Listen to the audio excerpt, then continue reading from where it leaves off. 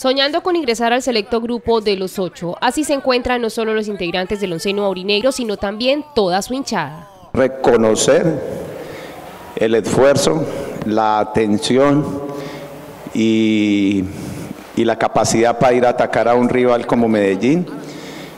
Lo ahogamos en muchos pasajes del juego, le robamos la pelota muchas veces en campo de ellos y generamos situaciones de gol no los, o sea, los incomodamos mucho, esa era la idea, y no dejarlos jugar mucho porque ellos juegan muy bien, es un equipo que juega muy bien.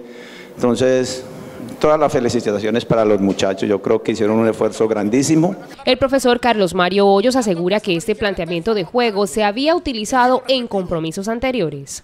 Ha habido en algunas otras oportunidades donde hemos hecho este mismo juego y hemos venido aquí a hablar de de que se malograron oportunidades de gol, que no se tuvo la posibilidad para, para ganar el juego de una manera distinta.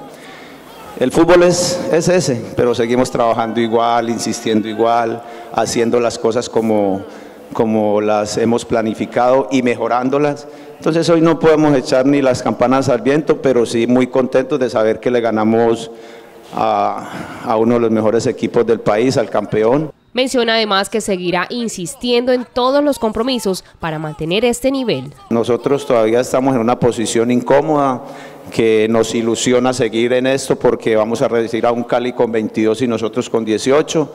Entonces vamos a estar pegados de eso y siguiendo, seguir lo que, lo que hemos venido haciendo a través de todo este tiempo, pero sí, nos reconforta mucho el triunfo y, esto nos va a dar para trabajar con más ímpetu, con más eh, ganas, con más ilusión y nada, y seguir, no podemos aflojar. La ilusión continúa más firme que nunca, por eso la máquina amarilla seguirá afinando sus motores para lograr el objetivo de clasificar.